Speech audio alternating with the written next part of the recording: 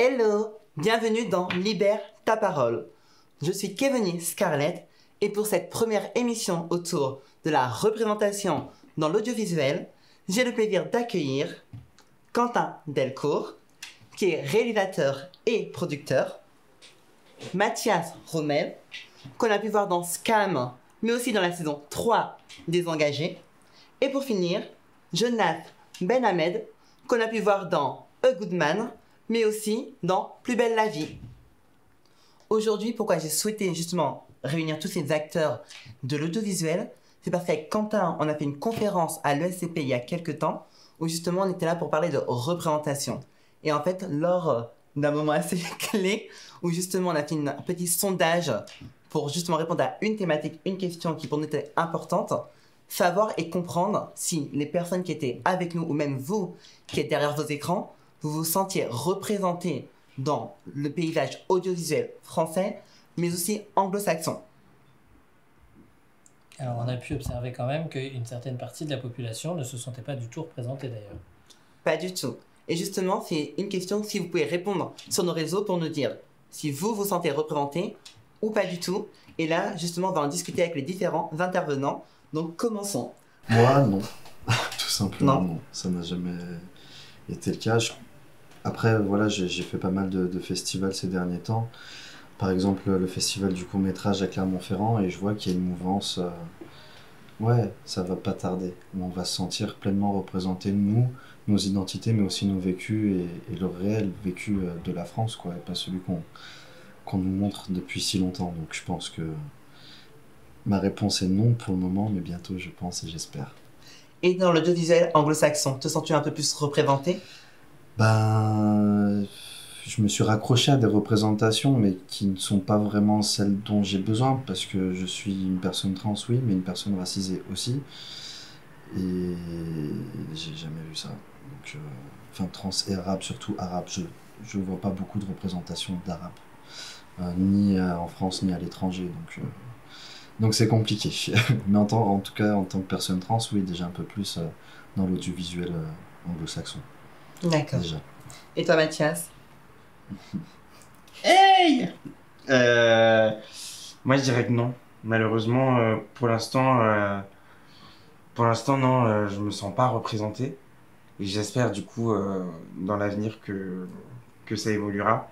Mais je, ne- je ne pourrais pas dire ça, ou en tout cas, euh, les seuls, euh, la seule représentation que j'ai pu avoir de moi dans les différents euh, de l'audiovisuel. Ce n'est pas un gros Euh, euh, j'ai pas. En fait, ils montrent ce qu'ils ont envie de montrer, mais pas forcément la réalité où, où ils vont montrer une part, ce qui est, est le plus beau ou le plus intéressant à montrer. Je comprends. Et justement, ben, on va directement enchaîner là-dessus. Sauf si Quentin, t'as quelque chose à rajouter? Te sens-tu représenté aussi? Bah nous techniquement euh, un peu plus j'ai envie de dire déjà quand même c'est vrai parce que m'étonne pas!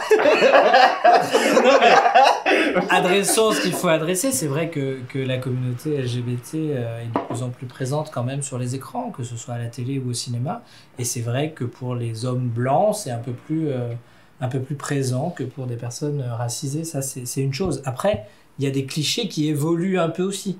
Et on a peut-être un devoir, nous, les, les metteurs en scène et les acteurs blancs qui, qui acceptent de jouer des rôles de, euh, de couple homosexuel, bah, de dire aussi est-ce qu'on peut être en couple avec une personne de couleur ou est-ce qu'on peut être en couple avec une personne trans? Ça peut aussi venir euh, de, de l'acteur en, en soi. Voilà, on n'est pas obligé de faire des couples homosexuels euh, blancs uniquement, par exemple. Il y a des couples mixtes, ça existe dans la société et il y a un devoir aussi là-dessus qu'on peut, qu'on peut faire. Mais justement, j'avais une question. Selon vous, ce travail, il doit être fait, comme tu as dit, par rapport aux acteurs, mais est-ce que ça ne doit pas aussi venir des productions qui doivent imposer aussi certains schémas visuels, mais je veux dire à des heures de prime time? Vous en pensez quoi? Que imposer quelque chose, c'est jamais bon. de toute façon, je pense que en vrai, c'est bah, dès l'écriture, on devrait écrire des personnages où il n'y a pas euh, de, de traits, en fait, où justement c'est un personnage et, et plein de gens passent une audition et on prend une personne et pas, pas une personne noire, pas une personne trans, pas une personne. On prend juste une personne qui correspond au rôle. Et si cette personne, il s'avère qu'elle est asiatique, qu'elle est noire, et ben c'est tant, c'est tant mieux, c'est tant pis, on s'en fout. C'est la personne qui va correspondre au rôle, vraiment qui va. Quelque chose qui émane d'elle, quoi. C'est, on écrit des personnages, on n'écrit pas un homme blanc cis hétéronormé, on écrit des personnages. Et le pire, c'est que bah, un scénario, on le sait, on peut toujours le réécrire. Donc, euh, au pire, prenons des gens et, et réécrivons et adapter à leur, à leur personne. Je pense que c'est même mieux. En vrai, je pense que le travail, il doit être là, il doit pas être imposé, ça doit être une volonté, euh, bah, je sais pas, l'inclusion. On voit bien que la France, elle est, on la voit bien tous les jours quand on se balade dans la rue, elle est ce qu'elle est, et c'est pas celle qu'on voit à la télé pourtant, donc c'est dommage. Et toi, Mathias, qu'est-ce que tu en penses? Bah, je pense que. Enfin, j'ai totalement raison avec, euh, toi- avec toi. Je pense que, en fait, euh, à un moment donné, euh, la représentation, c'est ce qui, c'est le monde, hein, c'est ce qui se passe. Donc, euh, c'est très facile à voir et euh, c'est très facile à cacher. Donc, euh, à un moment donné, euh, euh, comment se sentir inclus quand on montre quelque chose qui n'est pas vraiment réel et pour moi, il y a encore beaucoup, beaucoup, beaucoup, beaucoup de, choses qui sont, on va dire, un peu, qui passent par la trappe. C'est-à-dire qu'on, on va par exemple mettre dans un film, on va par exemple mettre un peu de, rés- de représentation, mais en fait, c'est pas de la représentation, c'est juste pour faire, euh, pour faire entre guillemets, euh, croire que on, on montre de la, on, on montre la, de la représentation au niveau de certaines minorités. Sauf qu'en fait, c'est juste pour faire beau, c'est pas pour vraiment montrer ce qu'il y a à montrer.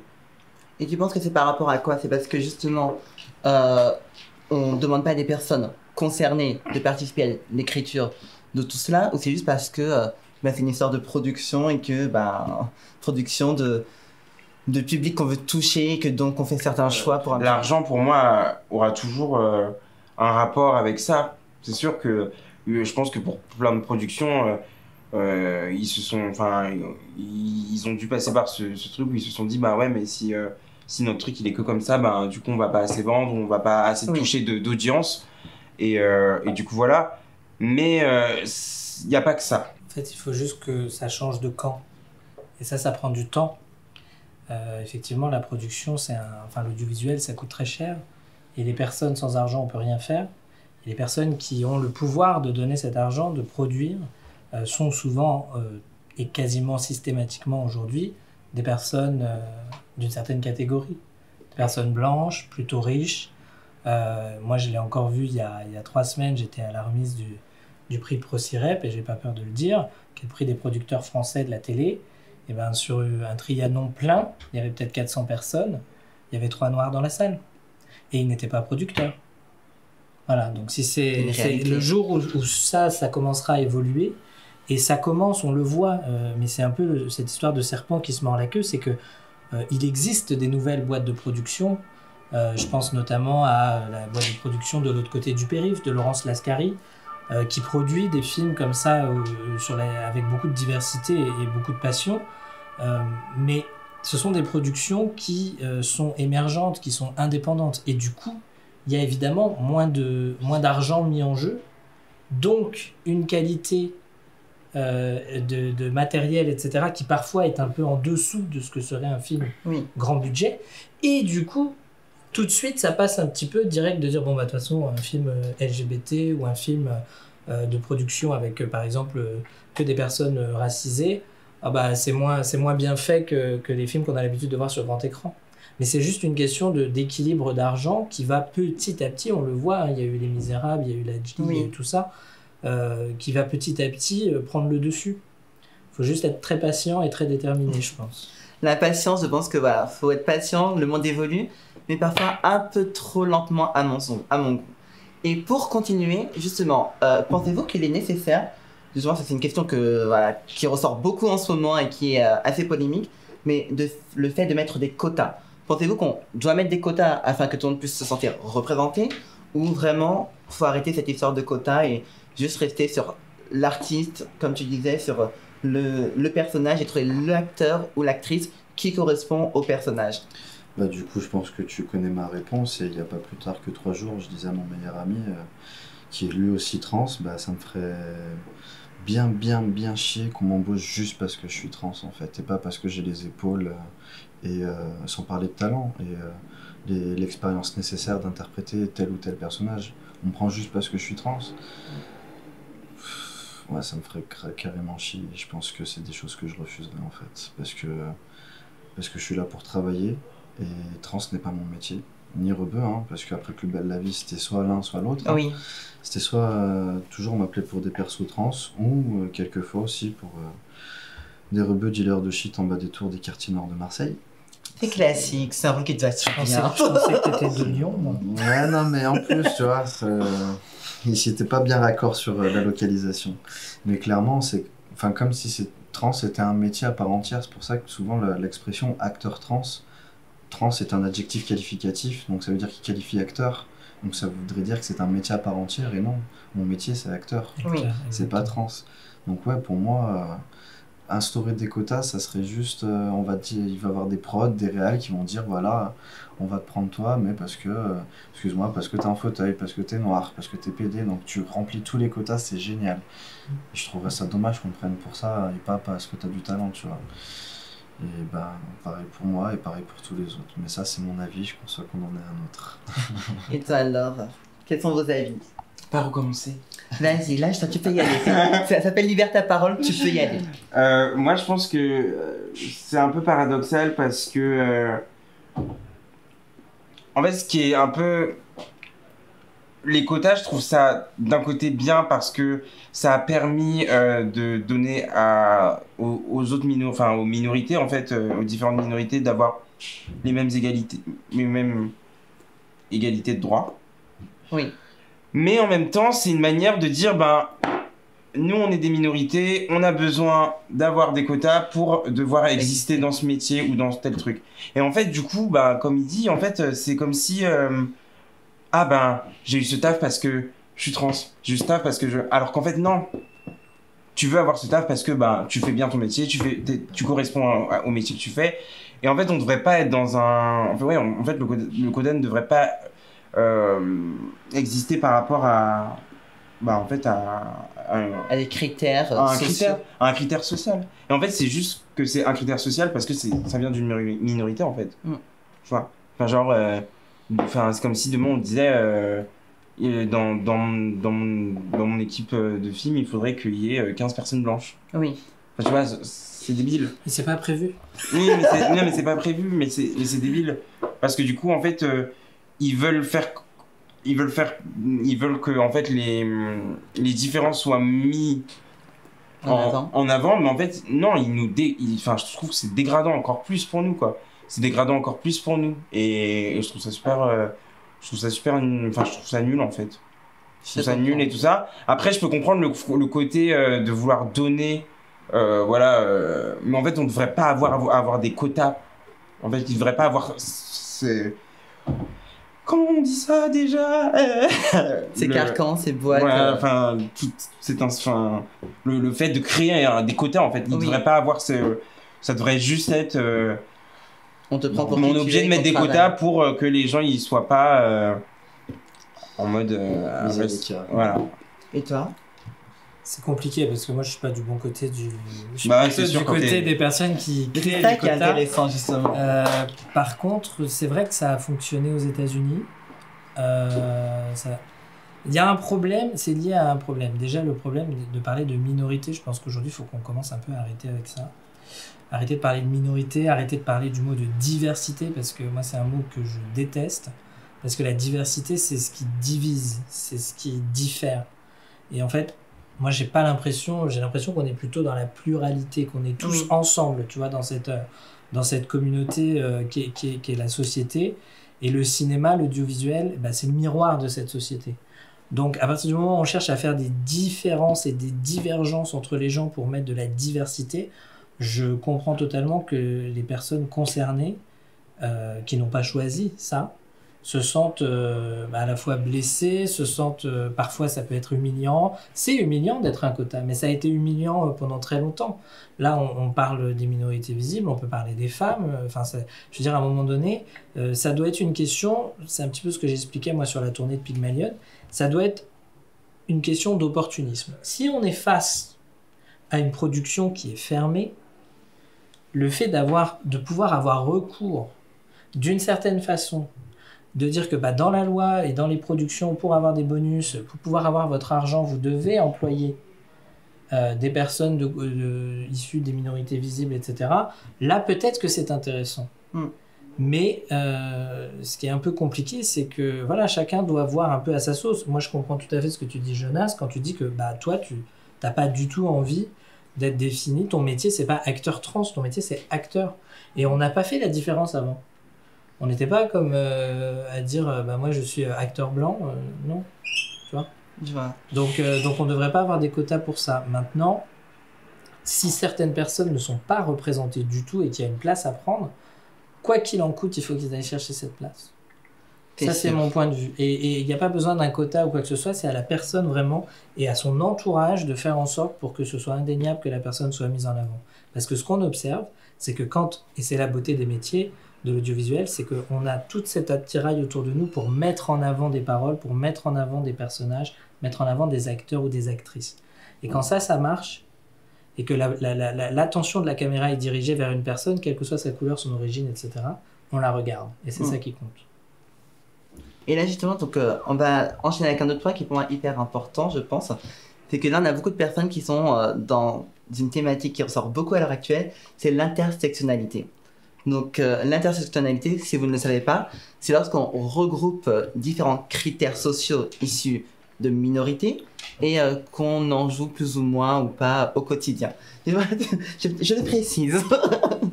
donc euh, là, pour préciser, c'est que peut-être que vous ne l'avez pas vu, mais pour Mathias, donc vous voyez, bah, c'est un homme noir, mais qui est aussi en fauteuil roulant. Avec des roues. Mais elles Donc, sont cachées. On n'a pas annoncé au début parce qu'on n'est pas là pour euh, justement mettre en avant euh, tous ces critères-là. La même chose pour Jonas, c'est lui qui l'a dit, c'est pas à nous de le dire, c'est à chacun de s'exprimer. Mais euh, voilà, donc pour Jonas, c'est un homme trans et arabe comme il l'a dit. Donc voilà, donc qu'est-ce que vous pensez de l'intersectionnalité et est-ce que vous pensez que ça devrait être quelque chose qui devrait être mis en avant autant dans le cinéma qu'en dehors? Bah oui, parce que enfin, l'intersectionnalité, c'est la vie de beaucoup, beaucoup d'entre nous. Et donc, du coup, bah, comme Quentin disait, le, cinéma, c'est le miroir de la vie. Donc, il doit représenter nos vécus. Donc, oui, il devrait avoir des rôles intersectionnels. Tu me demandais si je me sentais représenté. Ben non, parce qu'il n'y a pas ce genre de personnage intersectionnel qui, qui, qui ressemblerait justement au vécu que j'ai.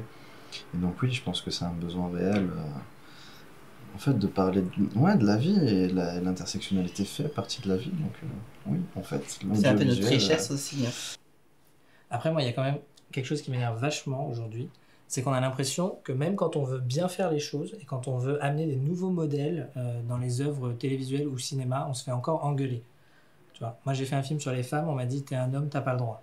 Euh, Marie-Cassie Mention-Char fait un super film hyper important sur euh, euh, l'amour d'un couple avec une personne trans dedans et elle se fait engueuler parce que euh, Noémie Merlan est une actrice cisgenre qui joue un homme trans alors que Jonas, lui, euh, est un homme trans qui joue euh, un personnage cis.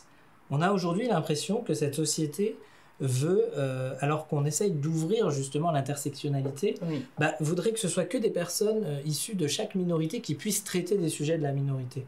Moi, c'est pas ce que j'ai envie, tu vois. Moi, j'ai envie de pouvoir parler des personnes noires sans être noires, j'ai envie de pouvoir parler des personnes hétéros sans être hétéros et d'essayer de les comprendre. Donc, je sais pas ce que tu en penses, toi, comment tu as vécu cette polémique euh Bah, après, ça, c'est que mon avis. Et, et comme je disais tout à l'heure, je conçois qu'on en ait d'autres. Mais clairement, pour moi, bah, trans n'est pas mon métier.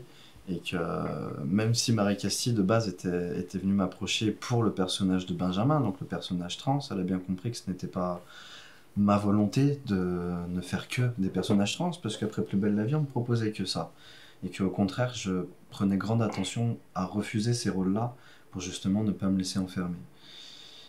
Mais après, je peux comprendre que d'autres personnes, justement, se sentent touchées, blessées de voir une personne cis interpréter euh, leur vécu.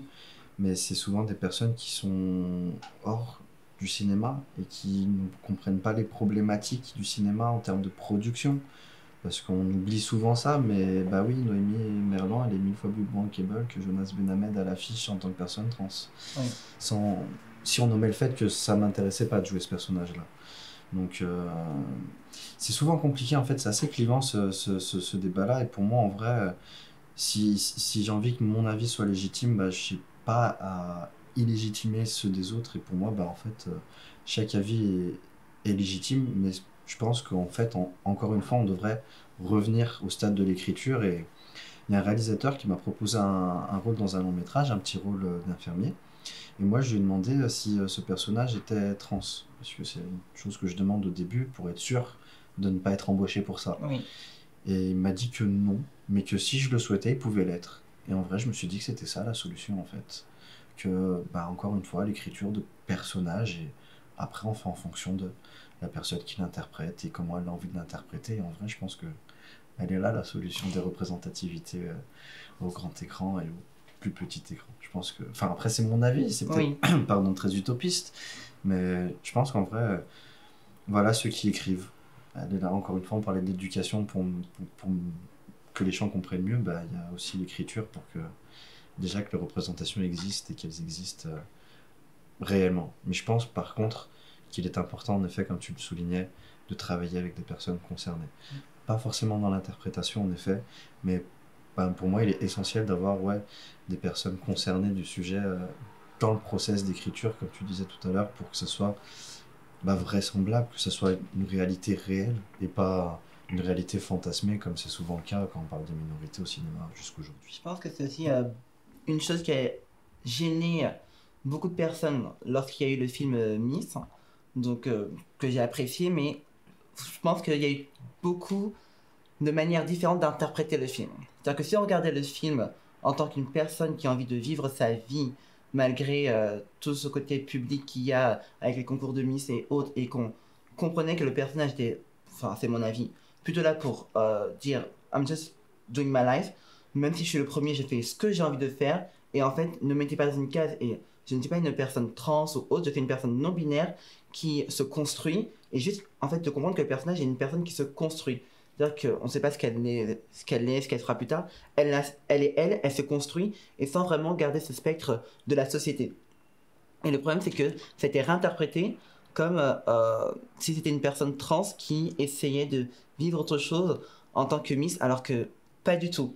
Et la même chose, il y en a beaucoup de, il y a beaucoup de personnes qui ont, désolé Ruben, qui l'ont revenu, qui ont, qui ont voulu, excusez-moi Ruben, du fait qu'il n'ait pas euh, euh, demandé à une personne trans de venir justement donner son avis euh, sur le projet.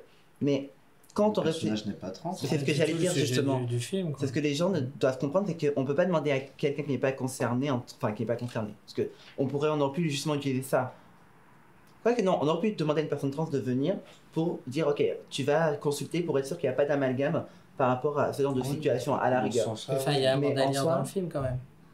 Et ça pose problème parce que justement, le seul moment où tu as une personne trans dans le film, c'est une personne qui va te dire Amanda de toute n'a fa- jamais dit qu'elle était trans. De toute façon, tu ne seras jamais une femme.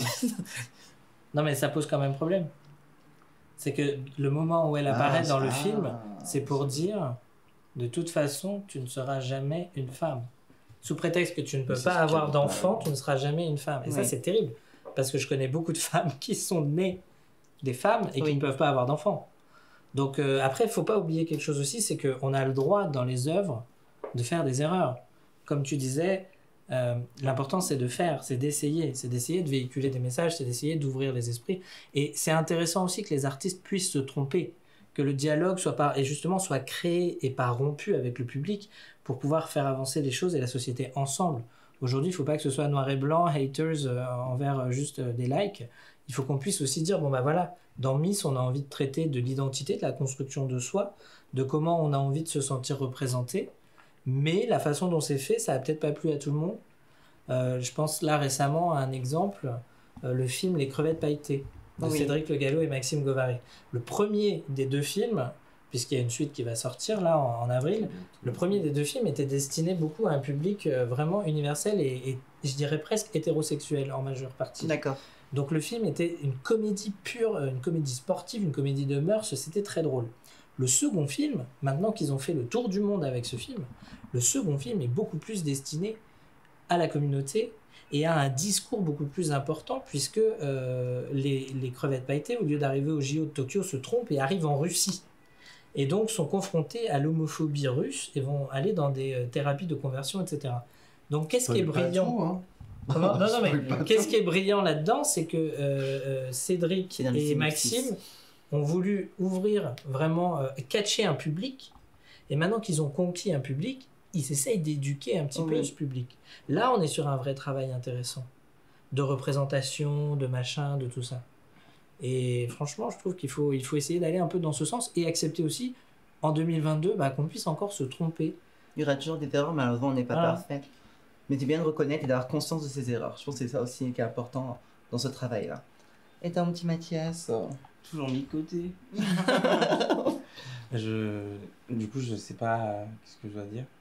Bah, exprime-toi qu'il y a une œuvre, euh, bah, ton expérience dans Scam par exemple, ou une œuvre cinématographique, où justement, en tout ce qui est termes de représentation, on a été mal représenté, bien représenté. Enfin, voilà. Euh, bah, du coup, moi, je vais pas, j'ai pas non plus euh, beaucoup de choix. Hein. Euh, je dirais, je dirais Scam parce que Scam, ça a été, euh, déjà, ça a été euh, la première série que j'ai faite. Et, et ça faisait du bien de pas, après avoir, après avoir fait Timéo, de pas être représenté. Enfin, j'avais encore du coup ce, le, le contexte du fait que mon, mon, j'incarnais un personnage qui était en situation de handicap. Oui. Voilà. Mais euh, cette fois-ci, il y avait, on, on ouvrait vraiment beaucoup plus euh, la parole à. euh, bah, c'est pas parce qu'on on est handicapé qu'on va toujours parler des mêmes sujets, euh, qu'on va nous, comment dit, nous fragiliser, rendre le, sujet sensible. Et en fait, mon, mon personnage dans ce cas était très fort, très. Il avait, il avait peur de rien, il était. Au contraire, il, c'est lui qui éduquait les autres, limite à la fin. Euh, et, et c'est ça que j'ai beaucoup aimé, c'est qu'on parle de certaines choses qu'on qu'on ne parlerait pas en fait dans la vraie ou, ou- ou qui pour euh, beaucoup seraient tabous. Et je trouve Ouais. que c'est important parce que euh, bah que tu sois en fauteuil, que peu importe, t'as une sexualité, t'as des envies, t'as et en fait euh, dans dans dans ce cas, ces thématiques-là, ils les ont beaucoup ab- Abordées. Donc euh, donc c'était ça qui était vraiment cool, c'était de pas tout le temps euh, retomber sur des thématiques euh, voilà un peu euh, bateau un peu euh, enfin du déjà vu quoi. Là on, on allait un peu plus profondément dans le dans le personnage et on s'arrêtait pas juste à son handicap. Et on montrait ma- malgré tout qu'il est c'était un personnage fort et et voilà.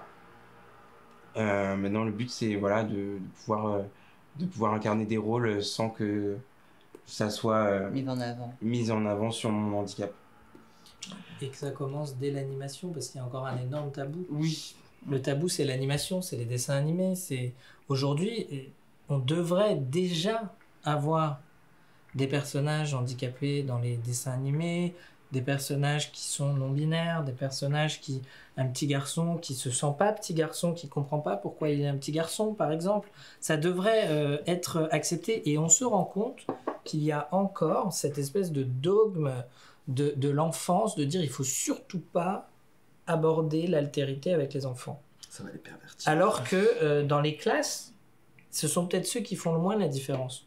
Quand il y en a un qui arrive qui a un bobo, bah, c'est un bobo, mais ça reste un copain. Oui. Euh, voilà, je veux dire, c'est c'est- c'est des choses, et, on, on- et ça, il faut faire très très attention à ça.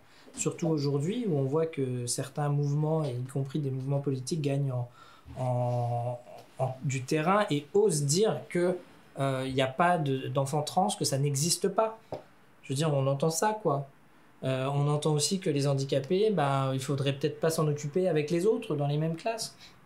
Donc euh, il y a des vrais soucis, et là je pense aussi que l'audiovisuel, l'art, la musique, parce que la musique on l'oublie trop souvent, mais les artistes en général ont un devoir, et vraiment il faut se battre pour trouver les budgets pour raconter ces histoires-là.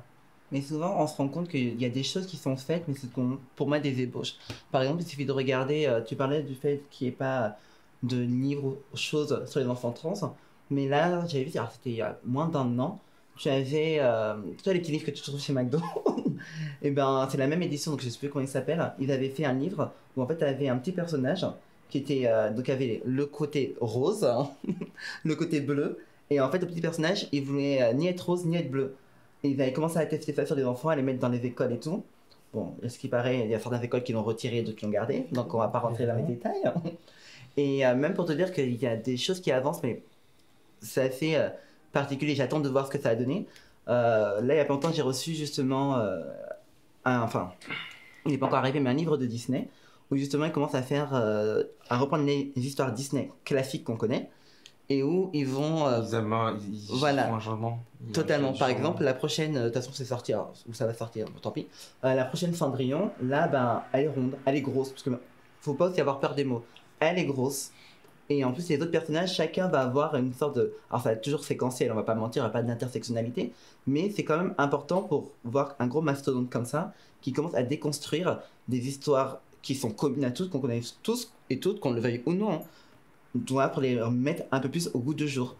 Mais euh, là, j'attends de voir ce qu'ils vont donner. Mais il y a un début. Mais j'espère que le début va pas être juste un début et que ce sera vraiment quelque chose qui va aider et porter une vraie pierre à l'édifice pour changer les choses. Ce qui est intéressant, c'est quand même que dans tout le marketing qui entoure les, les grands films d'animation, et je pense notamment au studio Disney, ils en jouent vachement, c'est-à-dire qu'ils testent la réactivité des audiences en laissant comme ça des petits indices de dire mais peut-être que la Reine des Neiges serait non-binaire ou qu'elle serait lesbienne ou peut-être ils laissent glisser comme ça des infos avant les sorties des films exprès pour tester, je pense notamment à, le- au dernier dessin animé aussi Luca là, sur deux petits garçons euh, qui sont différents, qui viennent pas des mêmes milieux et qui pourtant se retrouvent et en fait changent ensemble.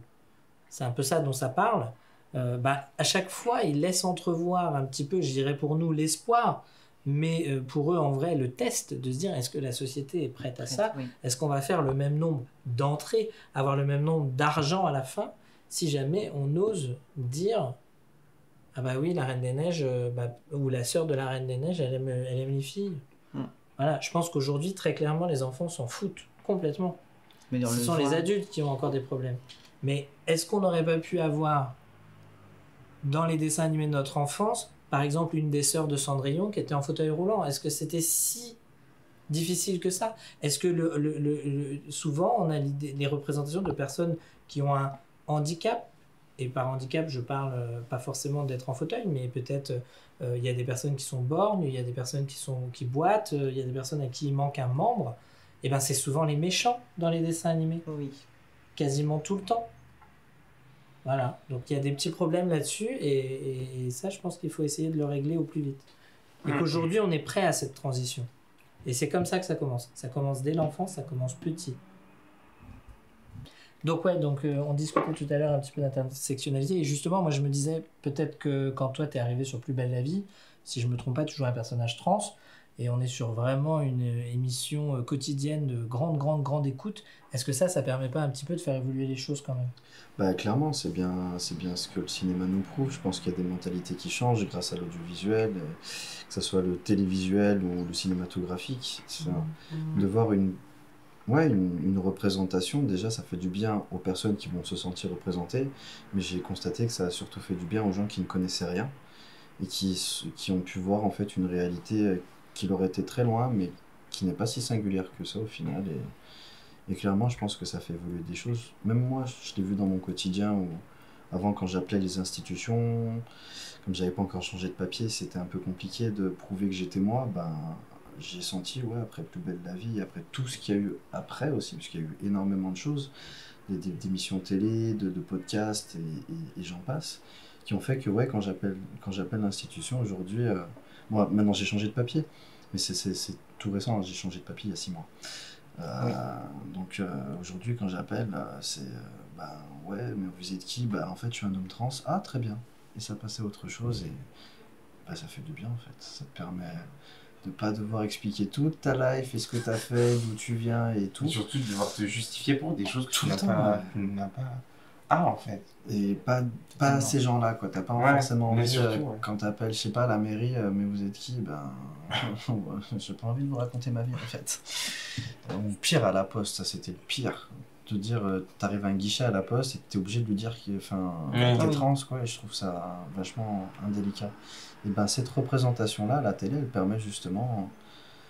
Ça, ça switch un peu et ça fait du bien, ça, on voit que ça avance. Tu disais que les choses avancent lentement, mais je me suis rendu compte, euh, bah, tu vois, ma, ma transition, je l'ai commencé il y a, il y a 10 ans. euh, les choses elles sont bien changées en 10 ans. Rien que l'accès à la transition, tu vois. Et oui, à notre échelle de notre petite vie, ça va pas assez vite. Et ça, c'est clair, je suis bien d'accord. Mais quand tu vois à l'échelle des droits LGBT depuis 1969, C'est ça, il y a- il y a une révolution. et bon, on n'a pas fini, il faut continuer à se battre. Mais je pense que. En espérant qu'on va pas perdre ses droits aussi, parce que Ah, ça, Mais c'est un non, autre. jamais. Après, je pense que la, la télé, justement, euh, a peut-être un pouvoir plus fort à ce niveau-là que le cinéma. Parce tu que, t'habites euh, dans le foyer de tout le monde. voilà, et puis parce que peut-être, il me semble, c'est une vraie question qu'on peut poser et que les plateformes nous, nous, nous forcent à, à réfléchir. C'est, on sait que pour faire un film de cinéma, le processus est très long et que généralement, il faut essayer de se concentrer sur une à deux thématiques. Alors qu'une série télé, un soap opéra comme ça, euh, où je pense là euh, récemment il y a ici tout commence sur TF1 Oui. euh, où il y a énormément de personnages très intéressants des non binaires des pansexuels des polyamoureux et tutti quanti. Bah ça sur un film le problème c'est qu'on est obligé de prendre un axe d'un personnage et c'est problématique Mm. alors peut-être que la télé qui effectivement en plus est beaucoup plus facilement accessible est un moyen de faire avancer les choses plus vite que notre notre milieu. Et les plateformes c'est un entre deux puisque la plateforme s'invite aussi à la maison euh, mais demande quand même euh, du contenu euh, qui coûte très cher à créer. Et donc ça permet d'être un petit peu dans des personnages émergents et on voit que ça cartonne. On voit que ça cartonne. Les personnages autistes dans les rôles principaux, personnages lesbiens, des personnages trans, enfin bon bref, tout le monde a vu Sex Education, des choses comme ça. Enfin, ce sont des, des shows très populaires quoi. Et toi, justement, comment, selon toi, tu arrives à travailler en termes de représentation par rapport à tes bah, différents en tant que Timéo, si je ne me trompe pas Enfin, parle-nous un peu justement de Timéo, de ce que tu as fait dans Scam, pour un peu nous raconter en quoi, pour toi, c'est une manière de d'exposer une représentation, de travailler à, la à une meilleure, plutôt j'ai envie de dire, représentation euh, des personnes dans ta situation. Euh, bah, selon les différents projets que j'ai eus, euh, déjà Timéo pour moi ça a été ça a été vraiment super cool parce que bah, c'était aussi une époque de moi où je me cherchais vraiment dans ce que je voulais faire. Euh, qui, vou- qui, voulait, qui voulait être Mathias Rommel, tu vois. Oui. Genre, euh, et, euh, et Timo, ça, m'a- ça a été l'opportunité de pouvoir, bah, pouvoir me dire, ok, donc je suis en fauteuil roulant et je peux être comédien. Je peux faire ci, je peux faire ça. Et, et en fait, quand, quand j'ai passé le casting de Timéo, moi, je je, je l'ai pas passé. En fait. D'accord. Je- C'est quelqu'un qui l'a pas. Enfin, quelqu'un m'a mis sur le casting. Moi, je voulais pas le passer parce que j'étais pas, j'étais, j'étais pas du tout, euh, j'étais pas du tout confortable. Je venais juste de, ça faisait euh, peut-être 3-4 ans que je venais de perdre l'usage de ma mobilité. Oui. Donc, euh, donc du coup, je, je me voyais pas du tout euh, passer un rôle pour un, pour un personnage, surtout que c'était quand même un, un rôle qui me collait à la peau. Oui. Parce que ça parle d'un garçon qui rêve de devenir artiste et euh, qui va dépasser son handicap malgré, malgré, euh, malgré tout. Et, euh, et en fait, le truc, c'est que après, quand j'ai fini Timéo, je me suis rendu compte que si j'ai eu de la chance d'avoir quelqu'un qui m'a inscrit au casting et que si j'avais pas eu cette personne-là, que je n'en serais pas là aujourd'hui parce que j'ai pas eu ce ce qu'on peut se dire souvent euh, pour différents euh, personnages ou quoi quand on se dit par exemple ah lui il est comme ça ou comme si Oui. s'il l'a fait je peux le faire. Oui, tu vois? Moi j'ai pas eu ça pour Timéo et c'est ça en fait qui qui a que j'ai beaucoup eu de, de retours après euh, la sortie où on m'a dit merci beaucoup parce que bah du coup je me suis senti représenté. Et, Oui. et, et, et- et là j'ai vraiment compris et, et ressenti l'ampleur que ça avait de aussi euh, continuer dans, dans ça parce que en fait bah, je me suis rendu compte que c'est pas parce que je suis en fauteuil roulant que je peux pas être comédien. Totalement. Sauf que le fait de ne pas avoir eu de représentation, que ce soit à la télé, euh, dans les médias, euh, de, de, de personnes euh, en situation de handicap, comédiens, bah c'est ça qui m'a qui ne m'a pas permis de me dire vas-y passe le casting Mathias t'as rien à perdre. Si il l'a fait tu peux le faire tu vois. Et, et après ça ap- après avoir su que que bah, c'était possible et qu'il Oui. fallait juste bah, casser les, les barrières et tout ça j'ai beaucoup plus poussé à, à continuer à vouloir euh, à vouloir faire des projets dans, dans le milieu artistique mais aussi pour euh, dénoncer euh, le fait que bah en fait c'est c'est sûr la représentation elle est importante que ça soit euh, dans les médias que ça soit euh, dans la société actuelle que ça soit partout en fait parce que en fait je pense que il y a beaucoup de gens qui sont juste euh, qui ne sont pas éduqués en fait. Oui, totalement. qui sont qui sont pas éduqués. Moi moi moi quand enfin moi j'ai perdu l'usage de mes jambes à l'âge de de j'avais 14 ans. Et euh, tout ça avant ça euh, le, le handicap moi je connaissais pas. Enfin moi j'étais j'étais une, une personne valide. Les, les personnes handicapées j'en voyais peut-être une ou deux fois par an. Oui, pour te, pour te rendre compte. Genre, j'en voyais peu, peu dans la rue. Dans la rue, tu les voyais, bon voilà, tu savais juste que c'était des. Mais en fait, c'est fou parce que quand tu, quand tu, tu places ton regard en tant que valide et que tu passes de l'autre côté, oui. c'est là où tu te rends compte qu'en fait, c'est pas qu'on est que les gens s'en foutent ou qu'ils n'y portent pas attention, c'est juste qu'on les qu'on les sensibilise pas en fait au sujet. Et comme on n'est pas sensibilisé au sujet, ben, on passe à la trappe. Par exemple, dans Paris, moi je vois peu de gens en fauteuil roulant. Mm. Dans plein de choses. Et en fait, moins t'en vois, moins tu te préoccupes d'eux. Parce que tu ça t'est pas montré. Et les, les médias, c'est les médias, tout ce qui est euh, audiovisuel et tout ça, c'est genre le truc numéro un en fait qui devrait être. Euh, c'est là où c'est en fait c'est là où tu te rends compte que bah, le cinéma des fois c'est pas forcément, euh, enfin la réalité n'est pas du tout euh, bien représentée puisqu'en fait c'est là où tu vois qu'en fait bah, la vie n'est pas un film parce que bah, dans les films c'est toujours beau, ils, cho- ils choisissent toujours les trucs, sauf que quand tu vas vraiment vraiment voir les, les, la réalité des choses, comment comment c'est au plus profond, bah, en fait là tu te rends compte qu'il y a, il y, y a un truc qui est, qui, qui est pas qui est pas raccord quoi. Oui. Et, euh, et moi, ça, ça a toujours été ça pour moi le plus difficile. Et aujourd'hui, pour moi, c'est- c'est aussi ce qui fait que j'ai aussi envie de me battre pour euh, bah, défendre euh, qui je suis, défendre mon envie d'être comédien ma- malgré mon handicap. Et aussi défendre ça et, et de dire que voilà, que tu sois noir, que tu sois gay, que tu sois en fauteuil roulant, enfin, t'es humain. Et euh, tu peux très bien euh, représenter ton métier, tu peux très bien faire ton métier. Enfin, ça n'enlève rien, tu vois. Et je pense que ça, on a besoin de le d'en parler en- encore plus dans que ce soit dans les films, que ce soit euh, dans les émissions de table Oui. ronde comme celle-ci. Et parce que je pense qu'il y a plein de gens qui, qui, qui voudraient mais qui n'osent pas. Parce que ben il n'y a pas assez de, de représentation pour se dire bah si lui l'a fait, moi je peux le faire. Et pour revenir à l'histoire des quotas de tout à l'heure, quand toi tu es sur un plateau où il y a des quotas, tu devrais demander à être payé trois fois. Ouais. Parce que tu remplis trois quotas. Et si on, Mais tu vois, si oui, on mais- réagissait comme oui, ça, mais il tu aurait vois, plus oui, mais- ça voudrait dire qu'on devrait prendre en considération une part de nous, enfin genre des détails en fait. Oui. ce qui, ce qui est chiant en fait, tu vois. Moi, j'ai, moi en vrai, euh, si demain je peux, libérer plein de choses et, si je peux, je peux apporter quelque chose au- aussi au, par rapport au, au, au, milieu du handicap et qui touche, euh, que ça soit dans la société ou que ce soit dans le milieu de l'audiovisuel, avec grand plaisir. Mais ça me fait chier quand même de me dire que, euh, voilà, il faut que je le fasse parce que euh, je dois défendre ça, tu vois. En fait, ça devrait pas être à moi de le faire ça devrait être déjà dans l'ins- l'institution, tu vois. Déjà pour moi, dans la logique des choses, euh, le handicap et tout ce qui touche au handicap, tout ce qui touche à, à la diversité, ça devrait être euh, inculqué dès la maternelle.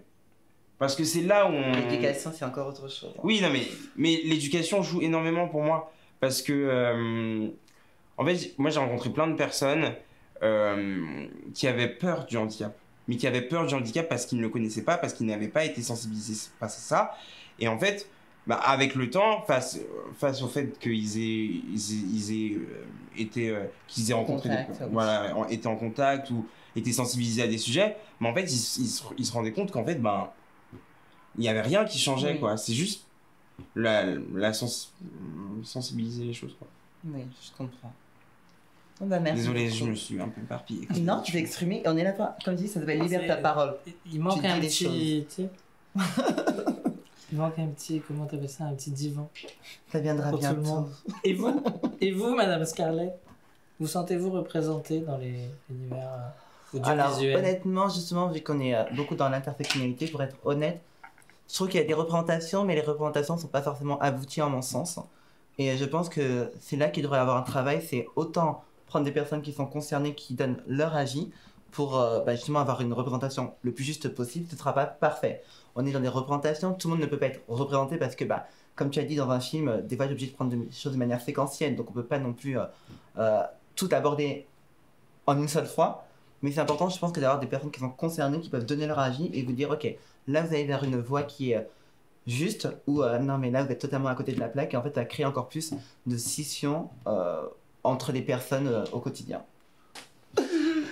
Et en tout cas, les amours, donc avant de conclure cette émission, on va faire un petit point promo avec chacun, parce que vous voyez les artistes ici, les invités ici ont beaucoup d'actualités, des choses qui sont juste canons qui arrivent. Donc, euh, ben, on va commencer avec euh, Quentin qui a une actualité euh, très prochaine, à partir du 19, si je ne me trompe pas. Donc, dis-nous tout. Là, du 15 au 20 mars, on a le- la cinquième édition du festival Pluriel que j'ai créé il y a 5 ans. Pluriel, euh, qui est un festival qui met à l'honneur les femmes et l'inclusion dans le cinéma international, qui est déjà venu l'année dernière avec un film en compétition. Et donc, on reçoit euh, pas mal d'actrices euh, et d'acteurs et d'actrices. Donc, venez nombreux. Et puis après, j'enchaîne avec un tournage tout de suite après Oui. en psychiatrie. Je serai pas sur le tournage, mais en tout cas, je serai là lors du festival. et toi, Mathias Notre euh, X-Men. Attends, tu t'es renseigné, toi Tu t'es renseigné. Bah écoutez, pour l'instant, euh, je reste dans l'ombre, mais bientôt, euh, restez tunés. Il y a des choses qui arrivent. hein. Des choses qui arrivent.